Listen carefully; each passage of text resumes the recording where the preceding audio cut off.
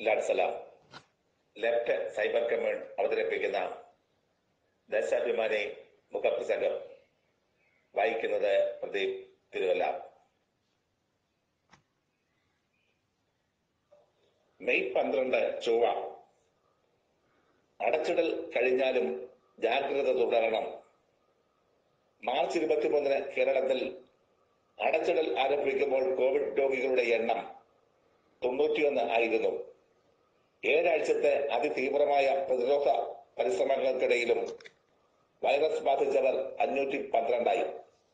ഇതിൽ നാനൂറ്റി തൊണ്ണൂറ്റിരണ്ട് പേരെയും സുഖപ്പെടുത്തി. പുറം നാടുകളിൽ ഉള്ളവരുടെ വരവ് ആരംഭിച്ചതിനാൽ ഇനിയും കുറച്ചധികം പേർക്ക് രോഗബാധ ഉണ്ടാകുമെന്ന് തന്നെ പ്രതീക്ഷിക്കണം. അവരെ കൂടി ചികിത്സിച്ച് ഭേദപ്പെടുത്തി കഴിഞ്ഞാലേ കേരളത്തിന് ആശ്വസിക്കാൻ വകയുള്ളൂ. അതോടൊപ്പം പുറത്തു നിന്നെത്തുന്നവരിൽ നിന്ന് ഇവിടെയുള്ള ഒരാൾക്ക് പോലും രോഗം പകരില്ലെന്ന് ഉറപ്പാക്കണം. കേരളത്തിന്റെ നിലവിലുള്ള സംവിധാനങ്ങൾ വെച്ച് ഇത് സാധ്യമാണ്. ലോകത്തിന്റെയും രാജ്യത്തിന്റെയും കണക്കുകളുമായി തട്ടി നോക്കുമ്പോൾ കേരളം ബഹുദൂരം മുന്നിലാണ്. ഇത് നമ്മുടെ പൊതുജനാരോഗ്യ സംവിധാനവും സംസ്ഥാന സർക്കാരിന്റെ സർവ സന്നാഹങ്ങളും ജനങ്ങളുടെ ഇച്ഛാശക്തിയും ഒത്തുചേർന്ന് കൈവരിച്ച നേട്ടമാണ്. പക്ഷേ രോഗപ്രതിരോധത്തിൽ കേരളം ഒരു തുരുത്തായി നിലകൊള്ളുമെന്ന തെറ്റിദ്ധാരണയിൽ ആണ് ചിലരെങ്കിലും എന്നത് പറയാതെ വയ്യ. അടച്ചിടലിന്റെ നാടുകളിൽ തൊഴിലും വരുമാനവും ജീവിത ശൈലികളുമെല്ലാം നഷ്ടപ്പെട്ട ബഹുഭൂരിപക്ഷവും പ്രതീക്ഷകളോടെ ഉറ്റുനോക്കുന്നത് കോവിഡിന് ശേഷമുള്ള നാളുകളെയാണ്. ഏതൊരു അത്യാഹിതവും കഴിയുമ്പോൾ മാധ്യമങ്ങൾ ആലങ്കാരികമായി പറയാറുള്ളത് മുറിവുകൾ ഉണങ്ങുന്നു ജനജീവിതം സാധാരണ നിലയിലേക്ക് എന്നാണ്. കോവിഡിന് ശേഷം എന്ന പ്രതീക്ഷയെ യാഥാർത്ഥ്യമാക്കാനുള്ള അക്ഷീണ പരിശ്രമത്തിലാണ് ശാസ്ത്രലോകം. മരുന്നും വാക്സിനും കണ്ടെത്തുന്നതോടെ ആ വലിയ ചോദ്യത്തിന് ഉത്തരമാകും. പക്ഷേ അതുവരെ ജീവിതം നിശ്ചലമായി മുന്നോട്ട് കൊണ്ടുപോകാൻ ആകില്ലെന്ന തിരിച്ചറിവിലാണ് ലോകം. നിയന്ത്രണങ്ങളിൽ വരുത്തുന്ന ഇളവുകളും നാട്ടിൽ എത്തുന്ന പ്രവാസികൾക്ക് മേലുള്ള നിരീക്ഷണവും എല്ലാം ഈ യാഥാർത്ഥ്യത്തിൽ അധിഷ്ഠിതമാണ്.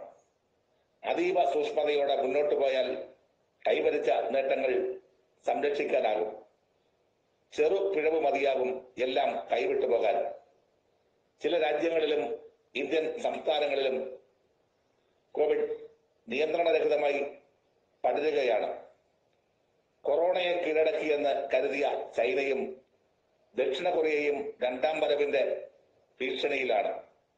ഇതിനിടയിലാണ് കൊച്ചു കേരളം അസ അസാമാന്യമായ കരുത്തോടെ പൊരുതി നിൽക്കുന്നത്. കോവിഡ് നമുക്കിടയിലുണ്ട്. അതുകൊണ്ട് തന്നെ സാധാരണ ജീവിതം തൽക്കാലം സാധ്യമല്ല എന്ന ബോധത്തിലേക്കാണ് ഓരോരുത്തരും ഉയരേണ്ടത്. ആദ്യം ചൈനയിൽ നിന്നും പിന്നീട് യൂറോപ്പ് മധ്യേഷ്യ എന്നിവിടങ്ങളിൽ നിന്നും ഇവിടെ എത്തിയ കൊറോണയെ അതിസങ്കീർണമായ പ്രക്രിയയിലൂടെയാണ് കേരളം ചെറുത്ത് നിന്നത്. രോഗബാധിതരുടെ സഞ്ചാര വഴികൾ നേടി സമ്പർക്കത്തിൽ ഏർപ്പെട്ടവരെ കണ്ടെത്തി നിരീക്ഷണത്തിലാക്കി. വൈറസിന്റെ ചങ്ങല മുറിച്ച അനുഭവം കേരളത്തിലല്ലാതെ മറ്റൊരിടത്തുമില്ല. രോഗികൾക്ക് സമഗ്ര ചികിത്സ സമ്പർക്ക സാധ്യത ഇല്ലാതാക്കൽ അവശ്യ സേവനങ്ങളും ഭക്ഷണവും ലഭ്യമാക്കൽ തുടങ്ങി കേരളം ഈ കോവിഡ് കാലത്ത് സൃഷ്ടിച്ച മാതൃകകൾ പറഞ്ഞു തീർക്കാവുന്നതല്ല. ഇതര സംസ്ഥാന തൊഴിലാളികളെ അതിഥികളായി സംരക്ഷിച്ചു. അവരെ ജന്മനാട്ടിലേക്ക് അയച്ചു തുടങ്ങി. ലോകത്തിന്റെ നാനാഭാഗത്തുമുള്ള മലയാളി സഹോദരങ്ങളുടെ തിരിച്ചു വരവാണ് ഇനിയുള്ള ഘട്ടം. മലയാളികൾ കൂടുതലുള്ള പല നഗരങ്ങളും കോവിഡിന്റെ പിടിയിലാണ്. വിദേശത്തു നിന്നും ഇതര സംസ്ഥാനങ്ങളിൽ നിന്നും എത്തിയവരിൽ ഇതിനകം തന്നെ കോവിഡ് സ്ഥിരീകരിച്ചു കഴിഞ്ഞു. ഇതിന്റെ അനുപാതം തീരെ കുറവല്ലതാനും തിരിച്ചു വരുന്ന പ്രവാസികളെ ശ്രദ്ധാപൂർവം കൈകാര്യം ചെയ്താൽ കേരളത്തിൽ കോവിഡിന്റെ മൂന്നാം ഘട്ടത്തെ വളരെയേറെ പരിമിതപ്പെടുത്താനാകും. ഇതിനുള്ള ഫലപ്രദമായ മാർഗങ്ങളാണ് നോർക്ക രജിസ്ട്രേഷനിലൂടെ സർക്കാർ സ്വീകരിക്കുന്നത്. എന്നാൽ വ്യക്തികളുടെ വൈകാരികാവസ്ഥയെ മുതലെടുത്തുകൊണ്ട് സർക്കാർ സംവിധാനത്തെ അട്ടിമറിക്കാനുള്ള ബോധപൂർവമായ ശ്രമമാണ് വാളയാറിൽ ഏതാനും പ്രതിപക്ഷ ജനപ്രതിനിധികൾ നടത്തിയത്. ചില മാധ്യമങ്ങളും ഈ ചതിക്ക് കൂട്ടുനിൽക്കുന്നു എന്നത് ദൗർഭാഗ്യകരമാണ്. ഏതായാലും ഈ രാഷ്ട്രീയ കളിക്ക് ഹൈക്കോടതിയിൽ നിന്ന് ലഭിച്ച പ്രഹരം ആശ്വാസകരമാണ്. ഇതര സംസ്ഥാനങ്ങളിൽ നിന്ന് പാസ് വഴി അതിർത്തിയിൽ എത്തുന്നവരുടെ എണ്ണം വർദ്ധിച്ചു വരികയാണ്. ഡൽഹിയിൽ നിന്നടക്കം മലയാളികളെ നാട്ടിൽ എത്തിക്കാനുള്ള ട്രെയിൻ സർവീസും ഉടൻ ആരംഭിക്കും. വിദേശത്തു നിന്നുള്ള വിമാന സർവീസും കൂട്ടിയിട്ടുണ്ട്.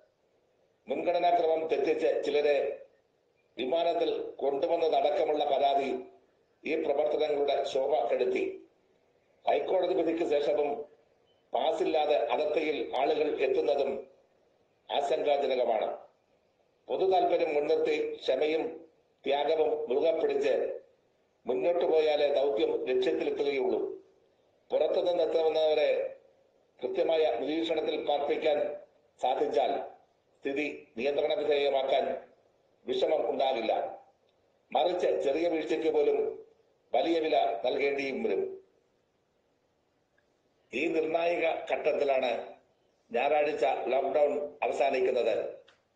നീട്ടിയാലും ഇല്ലെങ്കിലും ജീവിത തകർച്ചയും സാമ്പത്തിക പ്രതിസന്ധിയും മറികടക്കാൻ നിലവിലുള്ള സ്ഥിതിയിൽ കുറേയേറെ മാറ്റങ്ങൾ ഉറപ്പാണ്. ലോക്ക്ഡൌണിന് മുമ്പ് തന്നെ നിർത്തിയ ട്രെയിൻ സർവീസ് പതുക്കെയെങ്കിലും വിപുലപ്പെടുത്താൻ നിർബന്ധിതമാകും. ഉൽപാദന വിപണന മേഖലകളിലും കാര്യമായ ഇളവ് പ്രതീക്ഷിക്കാം. ഇതൊക്കെയാകുമ്പോൾ നാട് കോവിഡിന് മുമ്പുള്ള നിലയിൽ എത്തിയെന്ന് കരുതിപ്പോയാൽ നാം തോറ്റുപോകും. ഇനി ഇനിയുമേറെ കരുതലോടെ നീങ്ങിയാലേ ജീവിതം തിരിച്ചു പിടിക്കാനാകുകയുള്ളൂ അതുവരെ അർഹതപ്പെട്ടവർക്കെല്ലാം എൽ ഡി എഫ് സർക്കാരിന്റെ കരുതലുണ്ടാകും. നിയന്ത്രണങ്ങളും നിർദ്ദേശങ്ങളും പാലിച്ച് അനവദനീയമായ ഇളവുകൾ മാത്രം അനുഭവിച്ച് ജീവിതം മുന്നോട്ട് കൊണ്ടുപോകാൻ ആകൂ. എങ്കിലേ നാം ജയിച്ച ജനത ആകുകയുള്ളൂ. ഇതോടെ ഇന്നത്തെ മുഖപ്രസംഗം പൂർണമാകുന്നു. അഭിവാദ്യങ്ങൾ.